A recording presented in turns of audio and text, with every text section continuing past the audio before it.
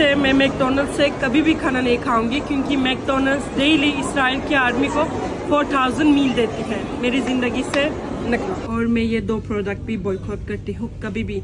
ना पेप्सी ना कोक ना मैं पीऊँगी, ना मेरी फैमिली पिएगा। और मैं आज से एरियल भी यूज़ नहीं करूँगी local brand is the best आज से ना मैं कोलगेट यूज़ करूँगी, ना shampoo head and shoulder use करूँगी।